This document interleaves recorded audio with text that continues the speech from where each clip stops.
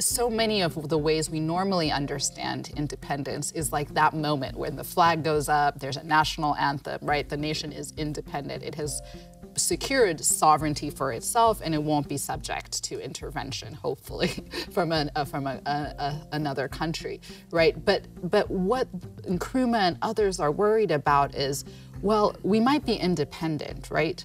but we're still, you know, uh, we produce uh, agricultural products is our primary like um, economy. So in Ghana, for instance, that would have been cocoa, right? Cocoa is sold on the international market.